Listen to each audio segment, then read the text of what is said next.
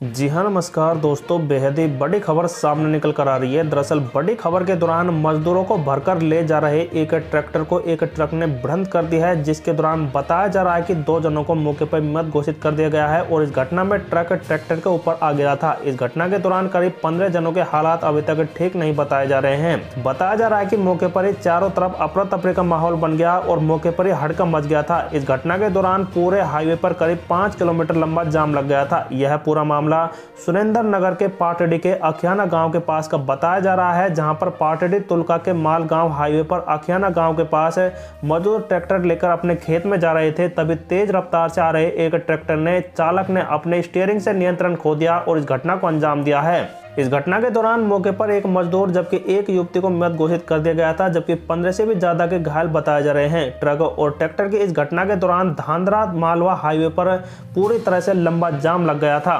बताया जा रहा है कि इस घटना के दौरान पुलिस मौके पर पहुँची है और मौका मुआयना करते हुए सभी को अस्पताल भिजवाया है, जबकि दो जनों का बीएम करवाने के बाद परिजनों को सुपुर्द कर दिया है। वहीं इस घटना के दौरान पूरे गाँव में गम का माहौल बन गया है। सो दोस्तों, बड़ी खबर थी। वीडियो को लाइक, शेयर, कमेंट करते हुए कमेंट में अपनी राय ज़रूर दें।